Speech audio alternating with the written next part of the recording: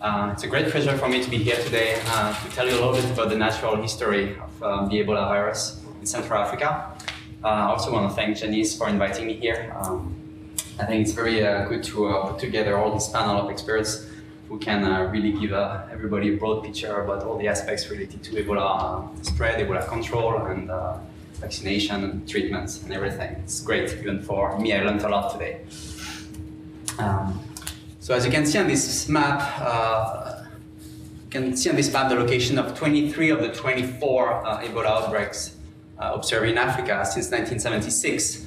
Uh, the first outbreak was recorded in Yambuku in northern DRC, and uh, subsequent outbreaks occurred in Congo, in Sudan, in Uganda, in, uh, in the Republic of the Congo, in Gabon, and now in West Africa.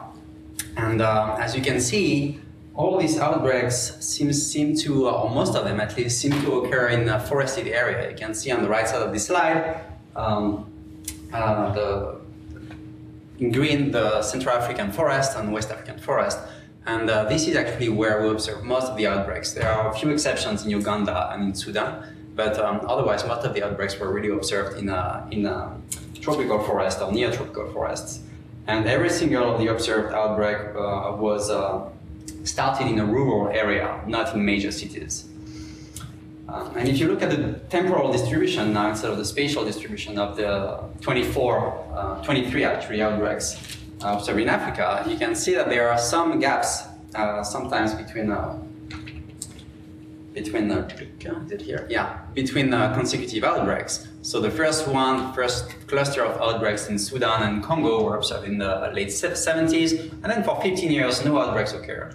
And then some more in the mid 90s um, in DRC and, uh, and Congo, and uh, in Gabon, sorry, and then in Uganda, and then again in Congo and Gabon, and then uh, finally a new cluster of outbreaks more recently. But there are long periods during which there's absolutely no human outbreaks. So what happens in the meantime? And actually, we focus, you know, 99% of our efforts in controlling and understanding what's happening during human outbreaks. But this is irrelevant, epidemiologically speaking. This is not the life of the virus. It's a dead end for him. It's an accident. So from our perspective, it's super important. It, it, takes all our energy and it has a very, very strong impact, obviously, on human populations.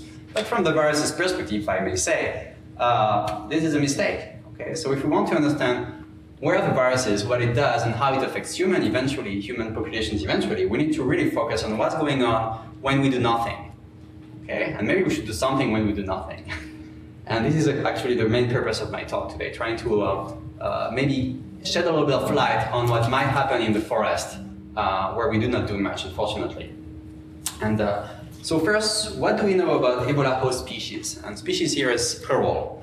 Um, there are many host species. There are many species that are sensitive to Ebola, that can, are susceptible to Ebola, that can be infected, and uh, a lot of them die. So a lot of the hosts that are contaminated with Ebola die eventually, but some survive, and depends on the species. And uh, what we know is that in humans, uh, the virus um, survives for a very short period in a, in a single human being. The incubation period is about six days on average, a bit longer sometimes, a bit shorter sometimes. And, uh, and then there is usually uh, about a week of symptomatic infectious period. And that's actually pretty short for the virus.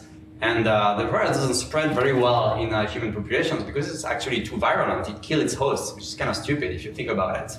And uh, so the, human outbreaks are like this. It's basically for the virus, virus spreads pretty fast, but eventually, since it kills its hosts, uh, it disappears. And uh, it's actually the same for every virus that's too virulent. A virus that kills its host does not survive in the long term. This is why we often observe actually in very virulent uh, viruses that switch, switch hosts, uh, we observe along, you know, after years and years of evolution, uh, a decrease in virulence. Okay? Because it's not interesting for the virus to, uh, to kill its host really fast. It's also not interesting for the virus to make its host healthy, okay? Don't get me wrong. A sick host is good for the virus, but a dead host is useless. Um, we also know that uh, Ebola can infect several other species. Uh, that includes primates, of course. We're primates, as you all know. We're actually great apes. Uh, and, uh, but the virus can also infect uh, other species that are unrelated to us or remotely related to us, uh, like duikers. These are small antelopes living in the forest in Central Africa, actually everywhere in Africa.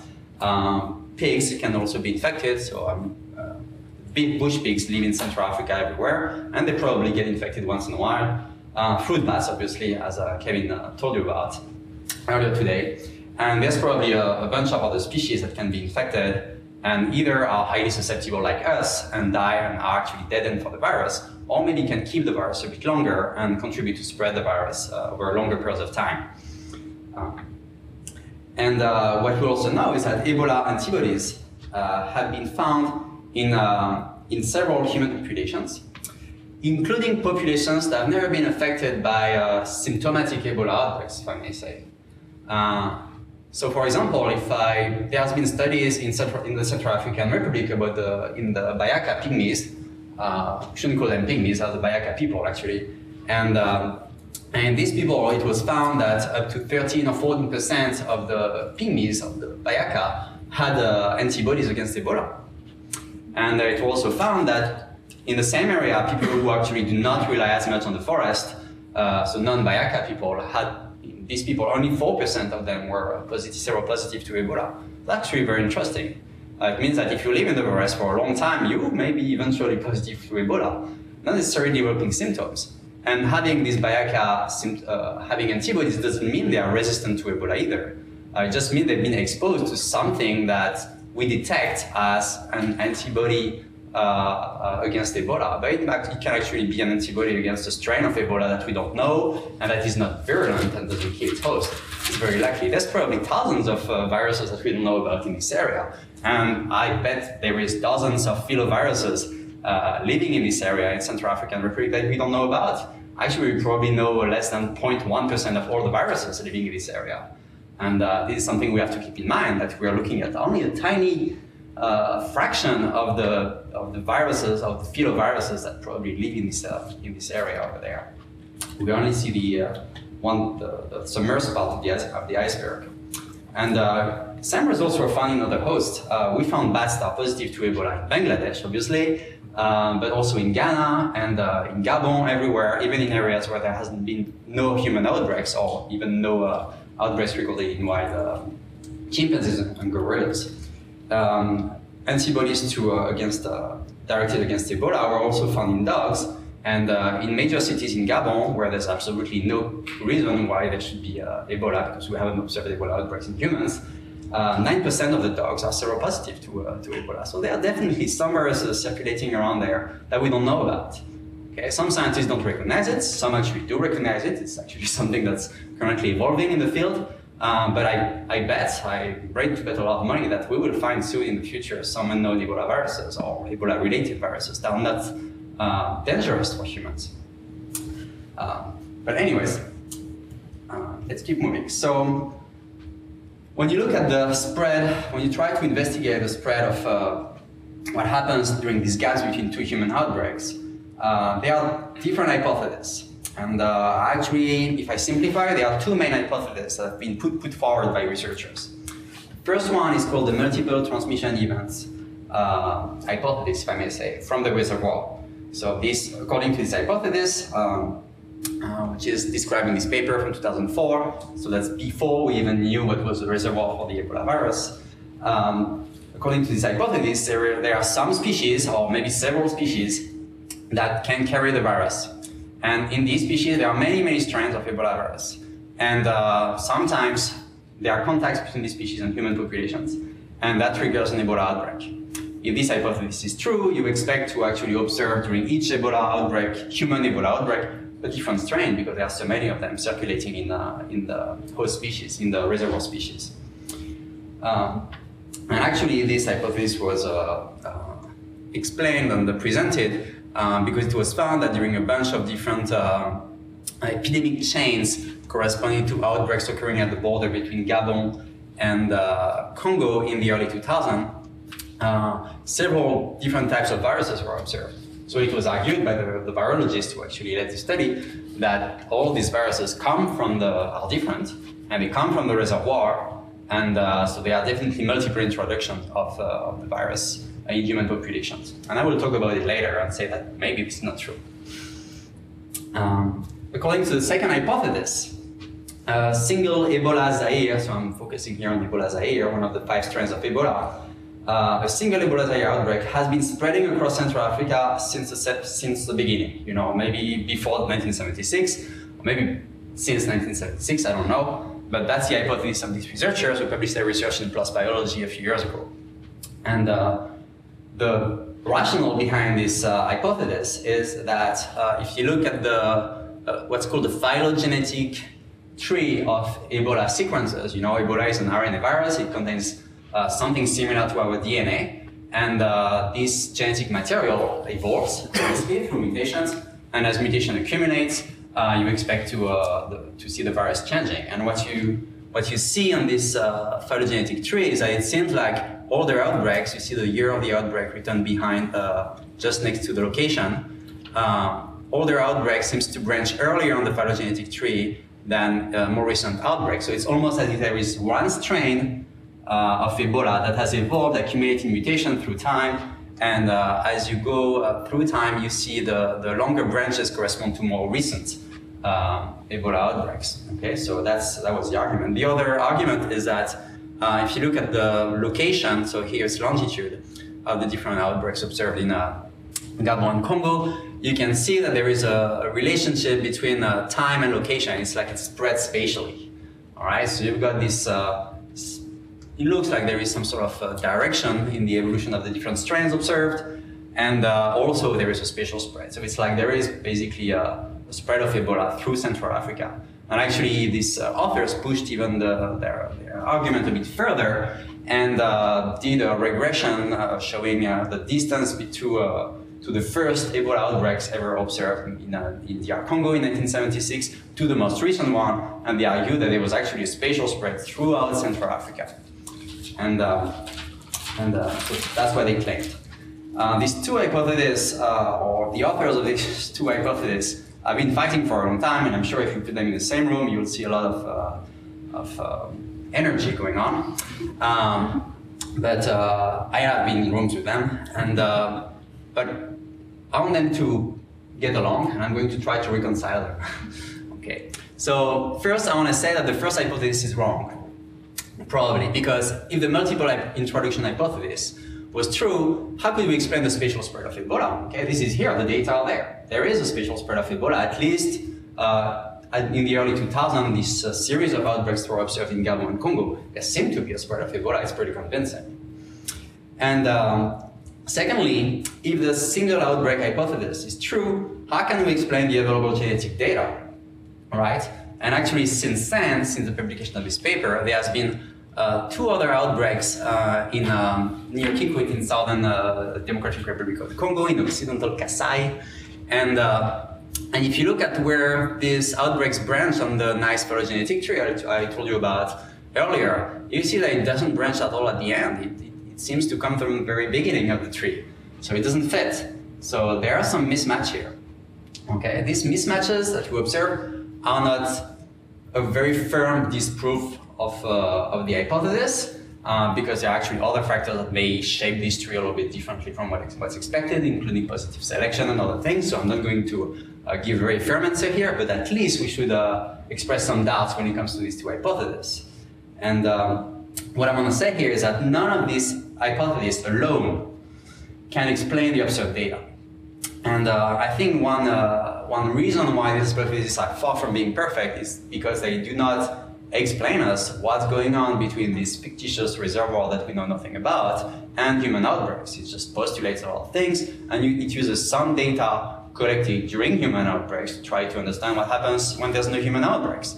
So maybe we should actually look at what's happening uh, outside of human outbreaks. And I'm going to uh, bring here some insights from uh, uh, uh that I got from uh, the observation and the analysis of data collected during an Ebola outbreak in gorillas. Uh, so these took place at the border, close to the border to uh, Gabon in, the, in uh, Republic of the Congo, in Nzala National Park, uh, a few years ago in 2004 actually. And um, at this time, um, actually in November 2003, uh, so just a couple months before these outbreaks occurred in gorillas, uh, there was an outbreak in, in, the human population in the village of, of Mbomo in, uh, in uh, Republic of the Congo, and in that village, uh, I think 29 people died, out of 32 cases or something like this uh, in just a month. And luckily, if I may say, not more people died. And I have to here say that it's probably thanks to the work of, of cultural anthropologists who went to this area the year before and uh, really did a great job educating people and sensitizing them to uh, what measures they should take in case of in the case of an Ebola outbreak. And at this time, it was actually the third Ebola outbreak affecting these populations, these human populations, and they knew what to do. And uh, when I went to this village during the outbreak, I, nobody wanted to touch me. Everything was very clear. We were like tapping our fingers to say hi at a distance instead of shaking hands.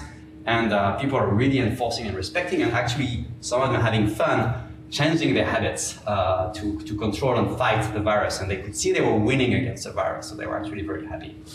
Um, anyways, um, so a couple months uh, later, I was in the forest, uh, tens of uh, miles away from this, uh, this village, and uh, I was doing my PhD work, my dissertation, observing gorillas in the forest clearing. that attracts actually a lot of these gorillas. And you can see here four pictures of the clearing with different animals. These are colobus monkeys. I'm sorry you cannot see them well. And this is a group of gorillas with a silverback rat in the middle. Um, they are actually licking the soil in this clearing, which is uh, rich in salt. And uh, here you can see some buffalo, some gorillas, and here again some gorillas. And uh, so I did observe actually a lot of gorillas. And each time I observed gorillas, I would um, obviously take pictures of them uh, because I like them and also because I wanted to identify them. So I took pictures of their face, and uh, I learned to identify gorillas just like we identify humans. And uh, it's actually not more difficult once your brain is trained to do this uh, task. So you can see they have different faces, and uh, you can actually tell them apart after a little while. And uh, using this uh, method, I was able to identify over 360 gorillas, different gorillas, in just two or three months. So that was actually a, a pretty massive work, but it worked pretty well.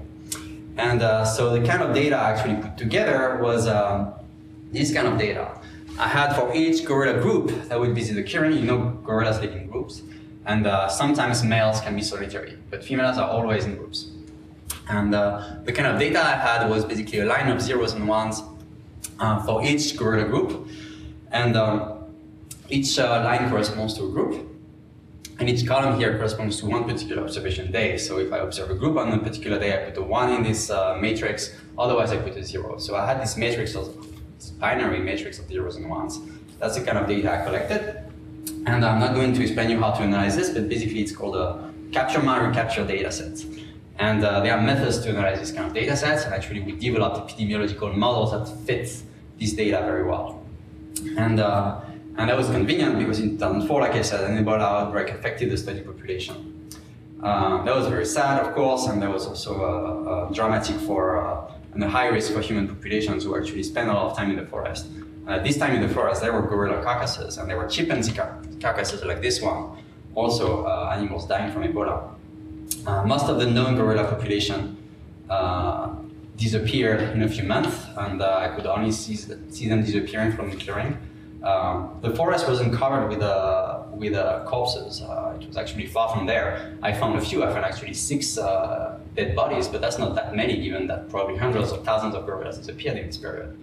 Um, it's because of the very fast decay rate of carcasses in tropical forests. Um, but two questions were asked at this time, and I tried to answer them. The first was uh, about the susceptibility uh, to Ebola of the different gorillas, the solitary, solitary gorillas of the group living individuals and I tried to find out if they were equally susceptible. The prediction was that if Ebola spreads between gorillas uh, within a group, I would expect animals living in group to be more sensitive than animals uh, living solitarily. Just because if you live in group, if one of the members of your group gets infected by chance, then you will also sooner or later get the disease because of the proximity between individuals. The second uh, thing I wanted to look at was uh, the way gorillas get infected. I didn't know exactly what was going on. And to do that, I had my data set, my zeros and ones. And, uh, and uh, I tried to understand how I could extract information from these lines of zeros and ones. And uh, this is actually uh, the, the, way we did it. We modeled, uh, we tested different models and tried to see if the, the data observed uh, could be explained better by one model versus the other. And this is a kind of the conceptual models we tested. Um, the first hypothesis uh, the multiple introduction from the reservoir hypothesis is the following. Basically, we've got gorillas, chimpanzees, tigers, and other wildlife that is susceptible to, to the virus in the forest. The reservoir, now we know it's fruit bats, but at this time we didn't. And uh, hunters, human populations, you know, who live in the forest, who need the forest to be actually. And um, and the first hypothesis was that uh, the, the, role, the reservoir plays a key role and uh, all this wildlife gets contaminated from the reservoir, independent introductions, multiple strains, etc. And then human populations get you know, contaminated by hunting these animals or eating actually sometimes even dead animals found in the forest, uh, which happens, happens quite a lot over there. Um, the second hypothesis uh, is that there is actually an important secondary transmission after maybe one event of introduction from the reservoir and so the reservoir only plays a role once and then you forget about it.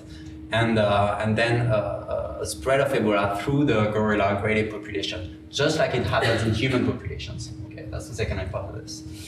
And um, so we built a model and uh, you know we translated this into equations and fit the model to the data to estimate the parameters and try to see if the model predicted well the observed data or not.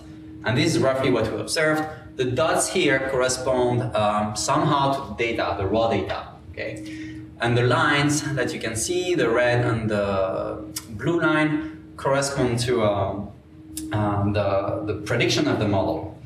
And um, there is one series of data points that corresponds to the group living individuals in red, and one series of data points that corresponds to the solitary living individuals in, uh, in blue. So first, when you look at the raw data and the estimate of the survival, uh, the, the, variation of the survival between 2002 and 2005, you can see that the, an animal alive in 2002 had uh, something like a 70% chance to still be there in 2004, and then there is a huge drop because it has only uh, uh, close to zero actually percent chance to be alive at the end of 2004 if it was a living individual, and about 10-15% chance to be still alive at the uh, end of 2004 for um, a solitary living individual. So this drop in the in the survival of the animals correspond to the outbreak. Okay, so the Ebola outbreaks happen during this period here uh, that you can very uh, see very well.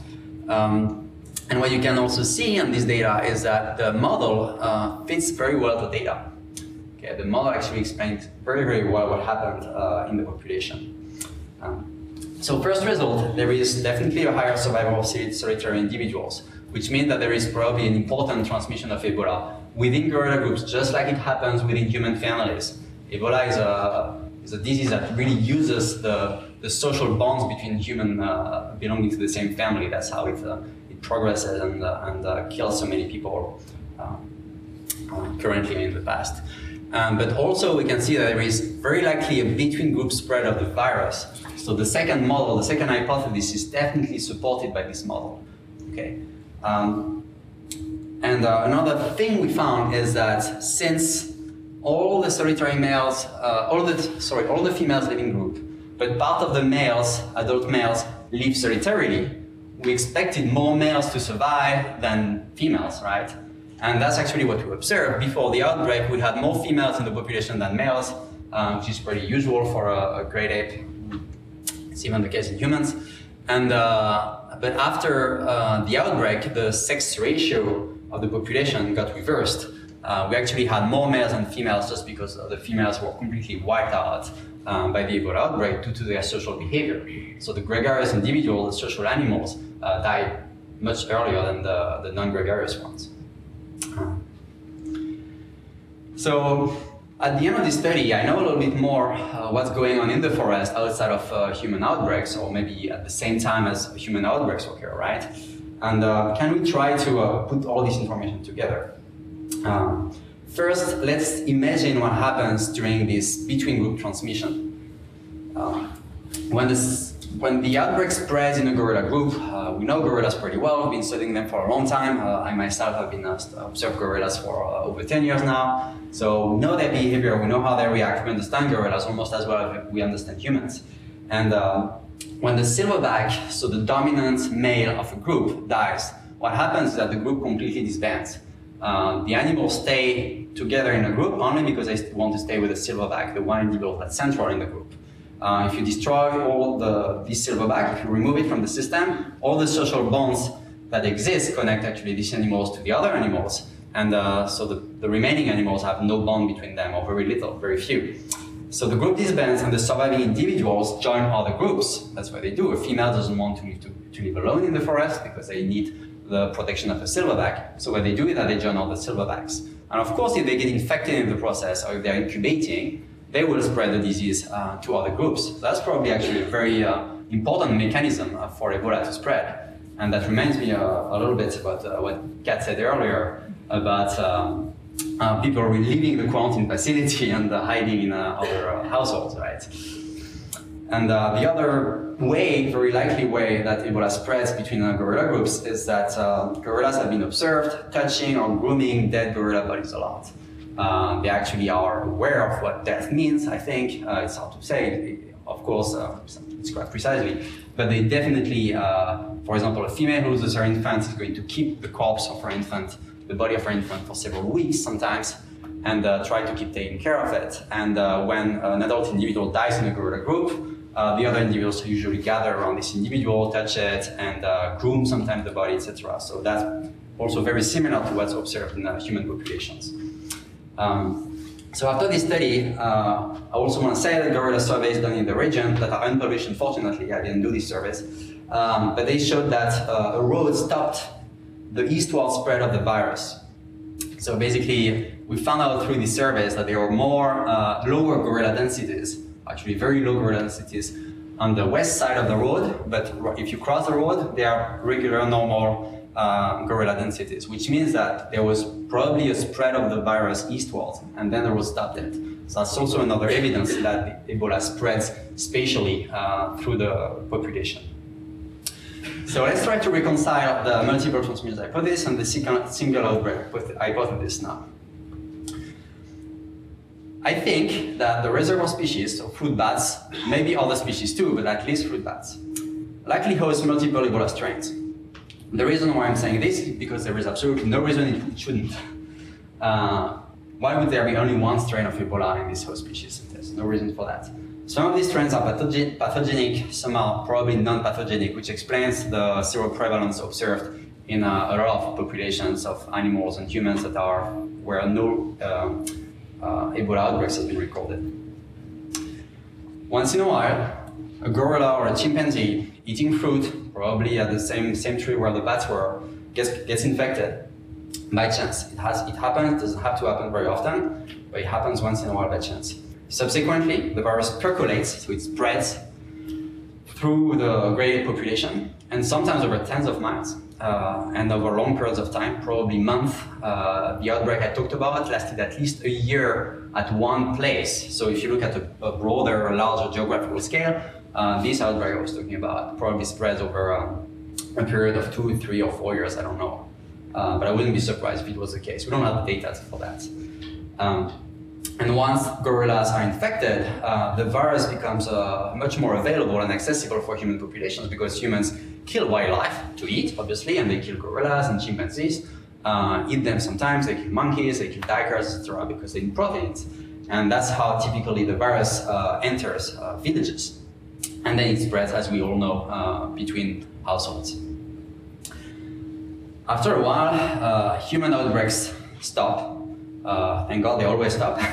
due to quarantine, isolation measures, and, and hopefully one day due to treatment and vaccination.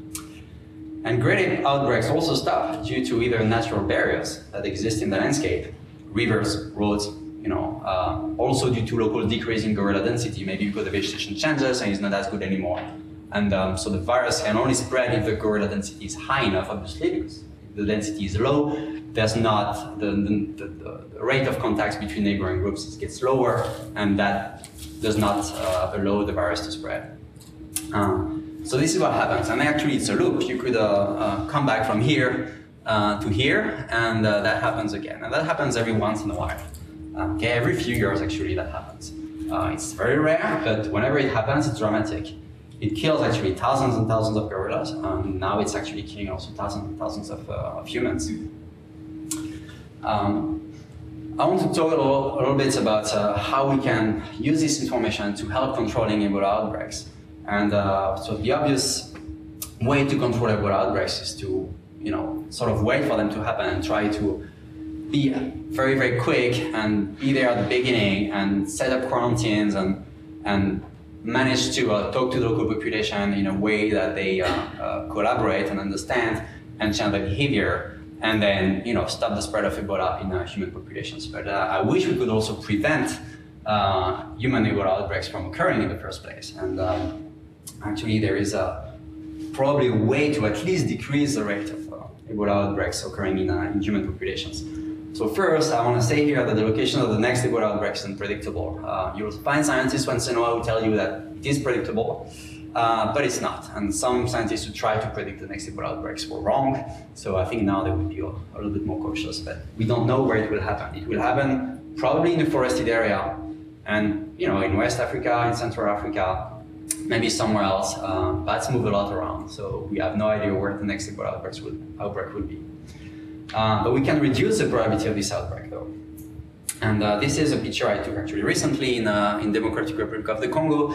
It's a hunter in the forest. He's doing something that hunters have not been doing for a long time. It's actually a very new thing. And uh, when you hear about uh, you know uh, people telling you that hunting in the forest is part of the the behavior or the culture of, of people living in the forest in this area, it's only partially true.